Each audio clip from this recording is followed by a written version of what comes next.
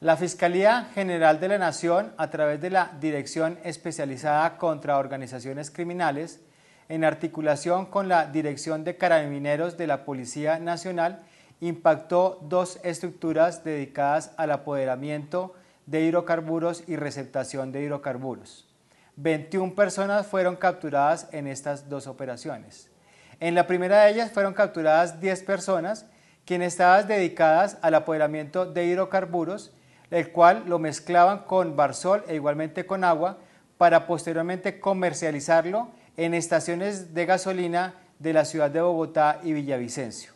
En esta eh, organización delinquía un ciudadano de nacionalidad venezolana, conocida como el químico, quien era encargado de hacer las respectivas mezclas que resultan altamente dañinas para los vehículos y automotores.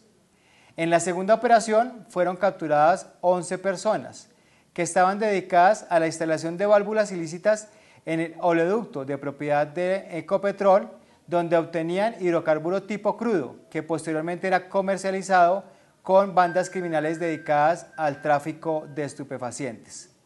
Estas personas fueron imputadas por los delitos de concierto para delinquir, apoderamiento de hidrocarburos, receptación de hidrocarburos y alteración de sistemas de identificación y fraude procesal. La Fiscalía habla con resultados.